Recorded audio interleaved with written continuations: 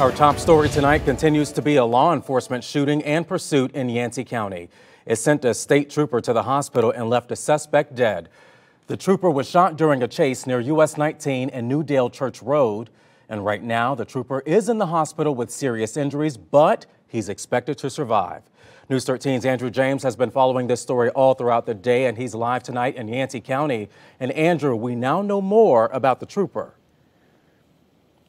Yes, Trooper Kevin Glenn is a nine year veteran with Highway Patrol. Out here tonight, crews have now cleared the scene. They were out here for the majority of the afternoon and the night. We do also have some new information that we've learned. The suspect in this case has died. That is according to the Yancey County Sheriff's Office Facebook page. Here's what we know about what happened today. Trooper Kevin Glenn was taken to the hospital with serious but non life threatening injuries after being shot Tuesday afternoon. According to Highway Patrol, Trooper Glenn was helping with a chase when he was shot while preparing to deploy a tire deflation device. We do have some viewer video showing the scene as police swarm the area.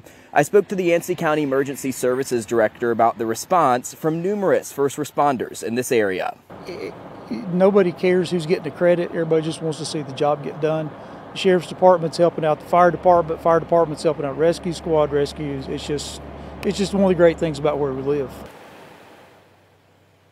Now, officials tell me they've been working two separate scenes, one where the shooting took place and another where the suspect crashed. We are asking for more information about this suspect and the reason for the chase. And obviously, this investigation is just in its beginning stages. We're working to get more information on this. We'll bring you the latest developments just as soon as we get them.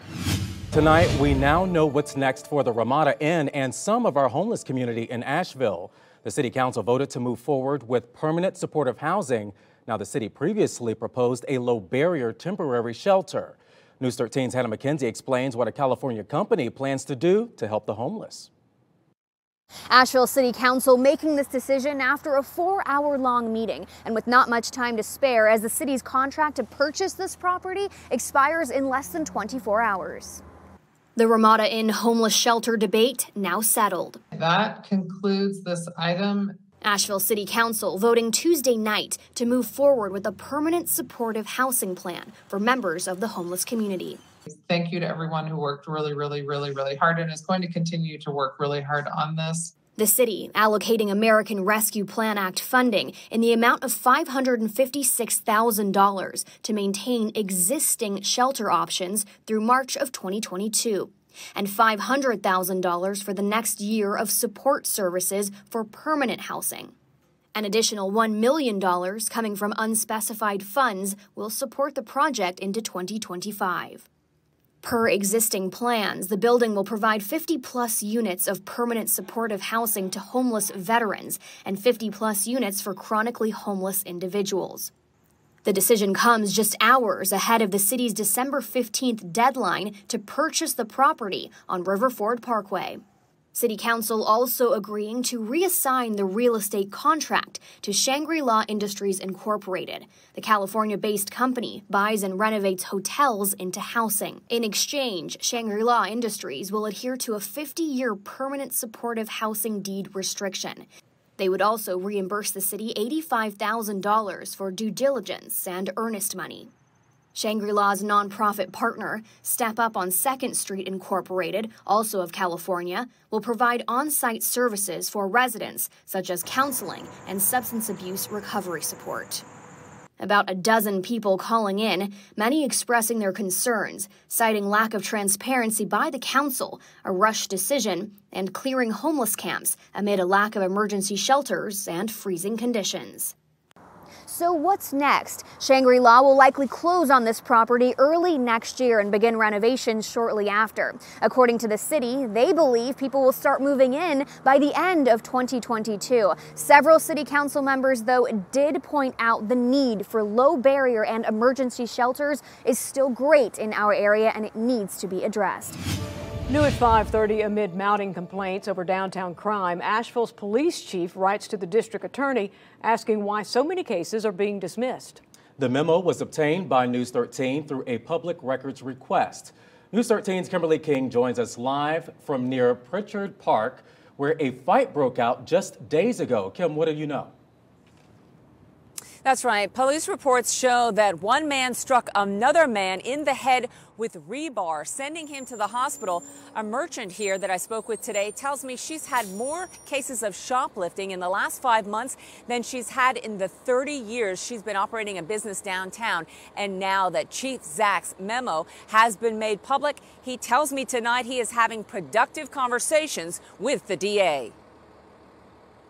Police Chief David Zack has written Buncombe District Attorney Todd Williams a letter airing concerns over what the chief believes is a lack of case prosecutions. He lays out on City of Asheville Police Department letterhead. On December 1st, Zack stated, during the past several fiscal years, the DA's office dismissed nearly every charged case involving criminal behavior routinely complained about by downtown businesses and residents. In fiscal 21, of 113 soliciting and begging arrests, arrests made, 100% were dismissed, 96% of second degree trespassing cases dismissed, and 100% of public urination cases dismissed. Well, obviously, he's got a point. He's upset because his officers are working hard trying to help the downtown merchants. Steve Lindsay, a local defense attorney, however, knows the DA also faces challenges adjudicating more serious felony cases where defendants fill the jail he says can impact need for dismissal of lesser crimes. The district attorney has a job that has to be done.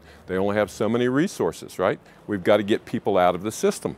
But the chief also writes To date, I have received no notice from you, any judge or attorney employed by your office, that APD personnel are making inappropriate arrests. Justin Souther manages Malaprop's bookstore. Like, I understand the frustration from the police if that's their job and that's not happening, but also as a taxpayer, like, I don't know if I would personally want to be spending money on prosecuting things like that. The solution is for the sheriff, the county commissioners, city council, the district attorney, and the chief of police to sit down and say, how are we going to handle this responsibly? Bud Crawford has owned the Earth Guild downtown for 50 years. He reviewed the chief's letter. Clearly, those numbers push you in the direction of thinking, gee, they ought to be convicting a few more people. It would seem like they could probably do a little bit more to pull some of those people off the streets and make lives a little easier for the rest of us.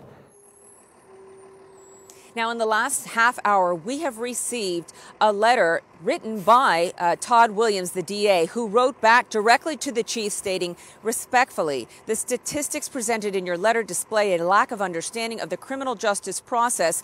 I suggest we follow up with a thorough conversation to, to ensure we share an understanding of the multiple paths forward and the ways you and I can work together to be responsive to our community's concerns. Now, while there remains a staffing crisis with patrol officers at APD tonight, Asheville Police Chief David Zack told me about an hour ago that he does plan to look closely and potentially add more officers on duty in the downtown area. But he says so many officers are working so much overtime that it remains a challenge. He says, though, that the DA and he are having constructive conversations and moving forward.